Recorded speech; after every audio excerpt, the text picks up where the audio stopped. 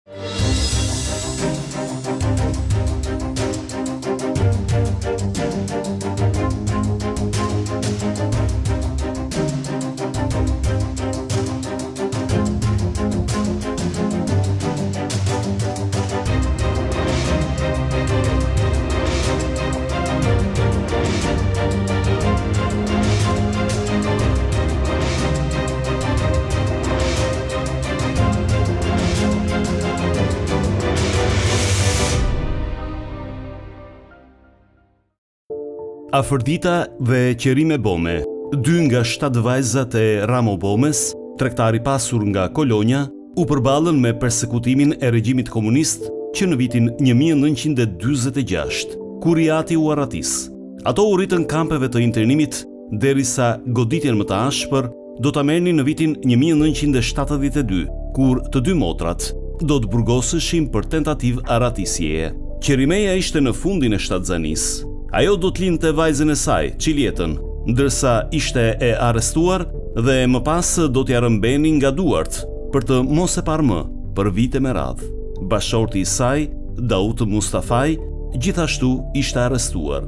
Motra tjetër, Afërdita, kishte lënë tre fëmijë të vegjël në shtëpi dhe bashkëshortin e sëmurë me diabet, pasi të përfundonte kalvarin e burgut, ajo do të transformohej aq shumë, sa fëmijët nuk do ta njihnin kur ajo të kthehej në shtëpi.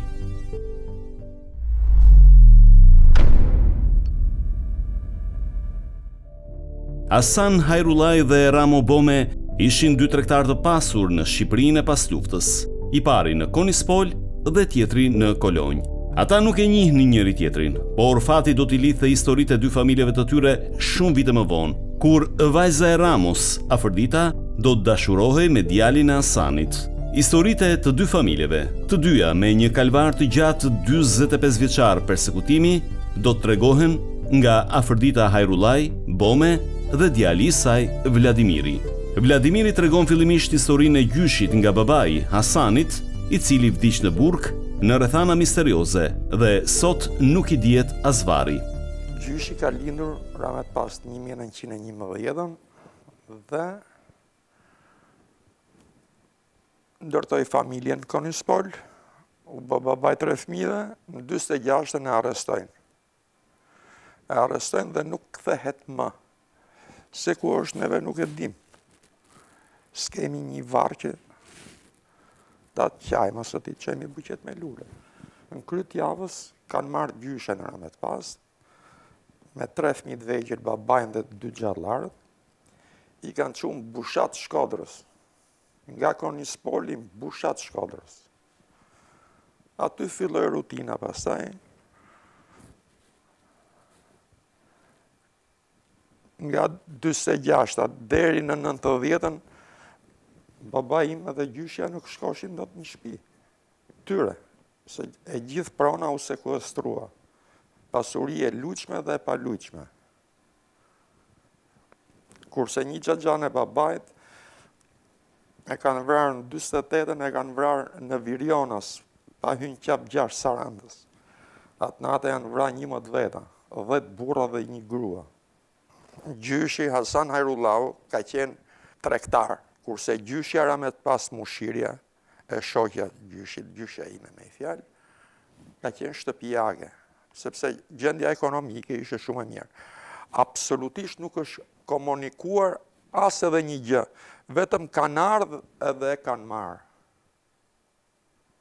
E kanë marrë, se ku e çunë, kalatë Gjirokastër, se ku e kanë çu, nuk e dimë. Ai në atë kohë ka qenë 22 vjeç, njëqind e 20 kile burrë. Si vdiq ky njeri? Ose vdiq ky njeri ku është, ku e çuan? Si një prej tregtarëve më të pasur të Kolonjës, fat të keq do të kishte edhe familja e Ramo Bomes. Ramo, gjyshi nga nëna i Vladimirit, do të arratisej në vitin një mijë e nëntëqind e dyzet e gjashtë dhe nuk do ta shihte më kurrë familjen e tij. Nga babai i nënës, Ramo Bome, Ramo Bej Starje Bome, Në dyzet e katërën e arrestojnë në Ersekë, në Starje. Bëri një vit burg, kur u lirua, i thot iksi, pa dash me përmënd emra, Ramo, thot, do të vënë prap në burg, i thot. Ai mori të vllanë pastaj, la shtatë fmi këtu, shtatë vajza, dhe i Iku Shtetet e Bashkuara të Amerikës. Aty kanë ndërruar dhe jetë. Kur i ati Ramo Bome u arratis. Afërdita ishte ende një vajzë e vogël, 6-7 vjeçe. Ditën që njerëzit e regjimit do të bastisnin shtëpinë e tyre, ajo do të kuptonte se bota e saj dhe e gjithë familjes po përmbysej.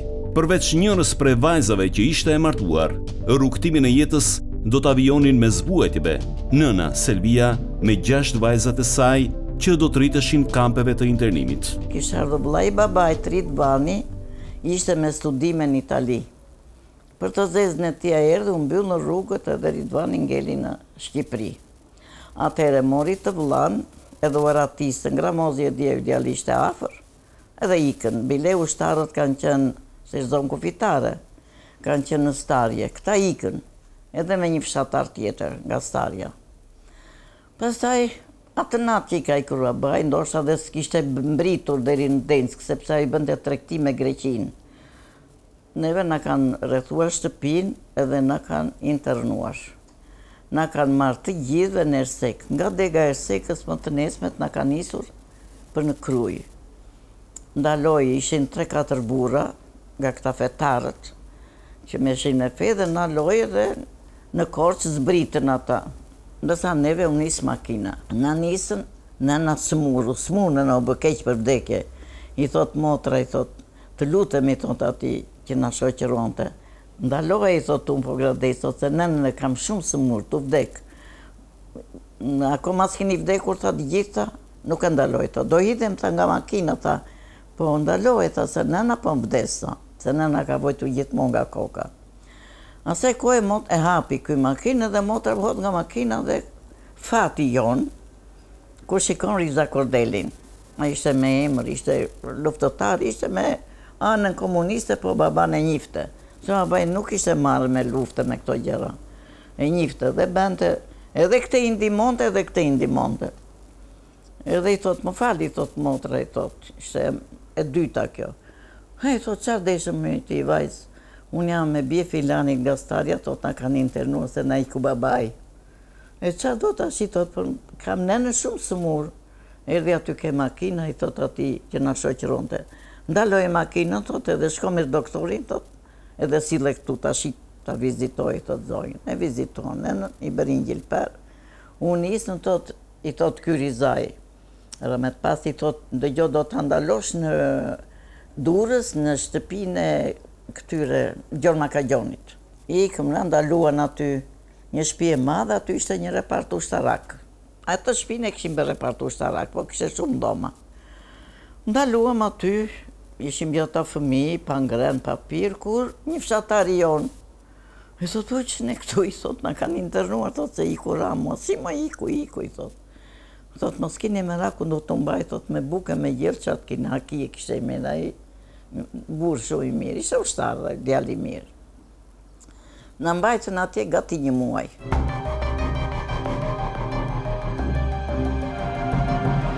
Pas këtij stacionimi të përkohshëm, familja e Ramo Bomes do të mbyllej në kampin me tela me gjemba të Krujës. Afërdita ka kujtimet e saj rreth jetës në atë kamp. Na nisën pas për në Krujë. Në Krujë kemi ndenjur dy vjet të internuar. Shumë familje nga të gjithë anët, ishin këta të Emin Barutit nga Starja, gëzimi me të motërn, me të jemën, edhe ishin tre vëllezër këta u arratisën, ishin tërë në internim fëmijët e tyre. Në atë kohë ishim të rrethuar, ishim me gjemba. Unë mbaj mend një familje, Vasil Kokali. Ishin tre vëllezër, kishin një motër dhe të jemën. Edhe i tha nënës dëgjo, tha. Ishim kështu në në kazermë.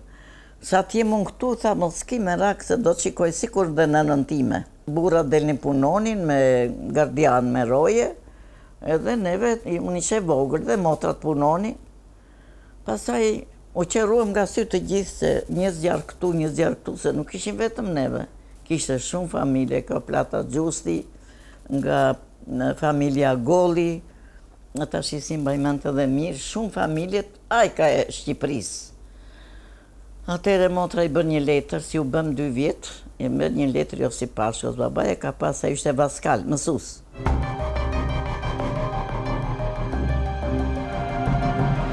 Jeta ishte mjaft e vështirë për nënën e vetme me gjashtë vajzat që po rriteshin mes baltës dhe punëve të rëndomta munduese.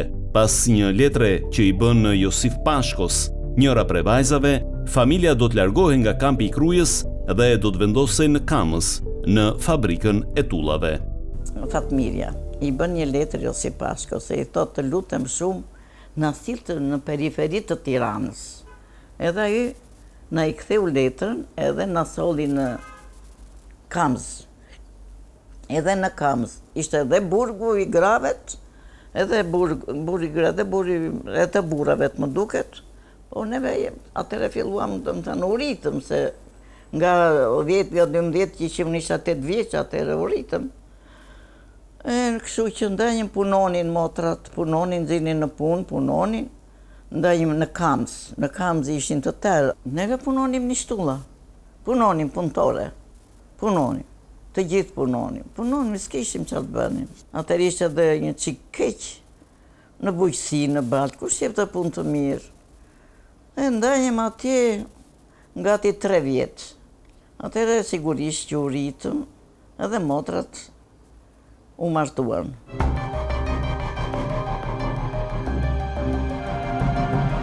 Afërdita ishte gjashtëmbëdhjetë vjeçe kur u njoh dhe u dashurua me Bajram Hajrullaun. Dashuria e tyre do të kalonte një varg sprovash, por ata do ta përballonin çdo sfidë e do t'i gjendeshin njëri-tjetrit edhe në ditët më të errëta. Ashtu si Afërdita, edhe Bajrami kishte kaluar kalvarin e gjatë të internimeve. Pas arrestimit të të atit dhe zhdukjes së tij, e gjithë familja do të internohej në Bushat të Shkodrës.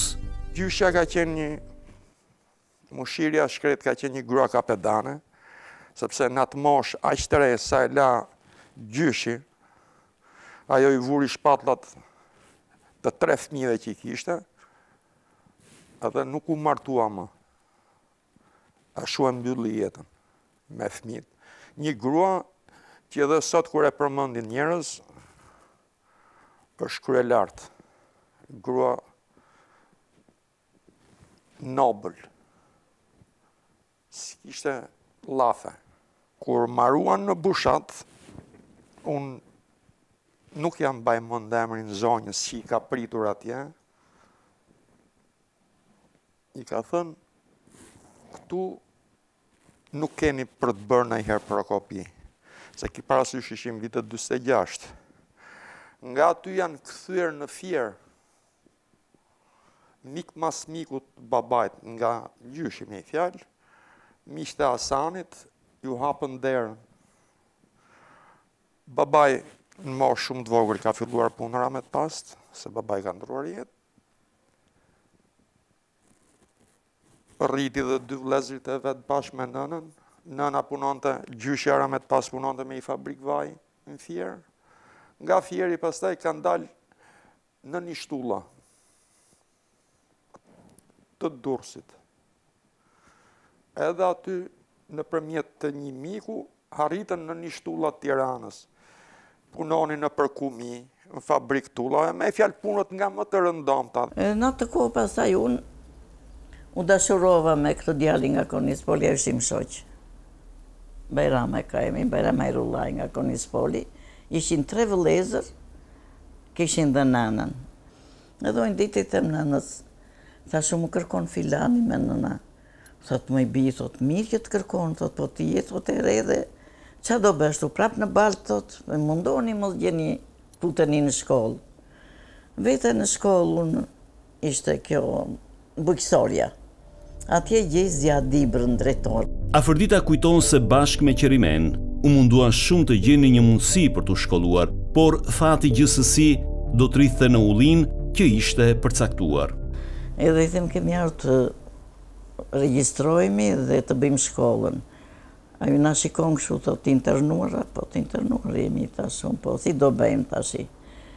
Tha, Hajdeni prapë dhe një herë. Ne vajtëm, u regjistruam. Prapë atje na nxorën nga shkolla. Ishte shkolla bujqësore për agronom, për kështu që ishin këto për pyjet, për të gjitha. Na nxorën, vijmë në Tiranë të ankoeshim, s'na qasi njeri.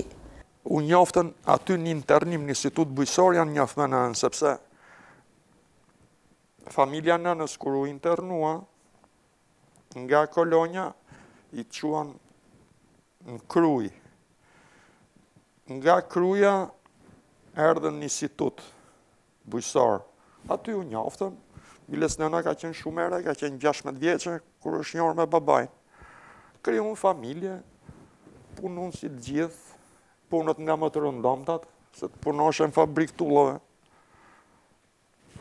Babai punonte në zbrazje, në fabrikë tullave.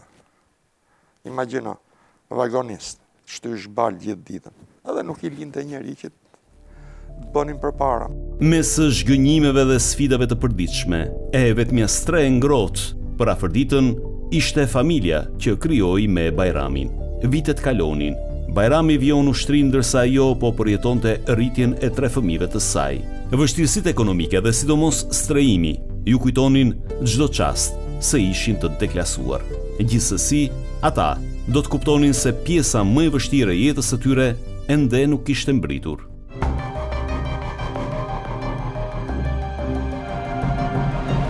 Ishte viti 1972. Një histori e fabrikuar për gjoja tentativë arratisjeje do të vinte pas hekurave Qerimen dhe Afërditën, bashkë me të tjerë të afërm të tyre. Qerimeja kishte mundur të shkollohej dhe ishte bërë piktore. Në vitet e shkollës ishte njohur edhe me bashkëshortin e saj, Daut Mustafaj, i ardhur nga Gostivari, i diplomuar në muzikë. Po prisnin fëmijën e tyre të parë, fëmijë që s'do të mund ta gëzonin. Qerimeja ishte në muajin e nëntë të shtatzanisë kur arrestohet. Dhimbjet e lindjes i përjeton në birucat e hetuesisë. E dërgojnë me urgjencë në maternitet, ku lind vajzën e saj të vetme, Çiljetën, të cilën do t'ia rrëmbenin nga krahët e do ta dërgonin në befotrof pa kaluar ende njëzet e katër orë nga lindja. Për muaj e vite, Qerimeja nuk do të mund ta shihte më foshnjën e saj, në hetuesi, së bashku me të motrën, Afërditën, bashkëshortin Dautin dhe nipin e tyre Robert Burimin, do të kalonin muaj ferri,